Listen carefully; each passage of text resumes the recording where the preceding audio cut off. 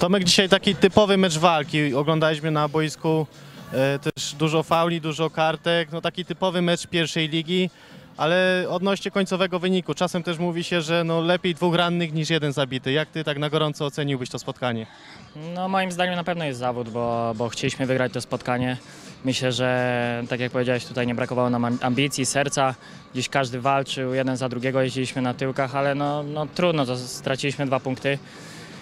Trzeba wziąć ten jeden, trzeba to szanować i, i po prostu teraz odpocząć, dobrze się zregenerować, myśleć o kolejnym spotkaniu, bo zostało sześć kolejek do końca i mówię otwarcie, że chcemy się bić o tą szóstkę, więc myślę, że tutaj cały klub i drużyna ma takie samo zdanie, więc do ostatniego meczu nie odpuścimy.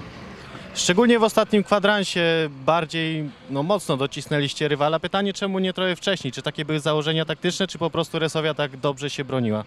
E, Od początku Resowia gdzieś e, skrzydłowymi schodziła bardzo nisko, byli praktycznie w szóstkę w linii, ciężko było się przez to przebić, tak? Oni też nie chcieli wyjść wyżej do nas, gdzieś tego miejsca za plecami obrońców było bardzo mało, wszędzie było ciasno i dopiero z biegiem meczu gdzieś e, zawsze jest więcej miejsca, po prostu jest trochę mniej sił i wszyscy się wolniej przesuwają.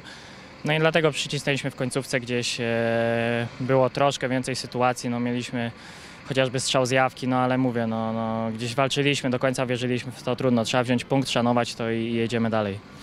E, Szczególnie ten punkt trzeba szanować, bo na chwilę obecną przynajmniej daje wam to awans na piąte miejsce. Wiadomo, że jeszcze trochę tych spotkań w tej kolejce zostało, ale dążę do tego, że w ostatecznym rozrachunku ten punkt jednak może mieć ogromne znaczenie.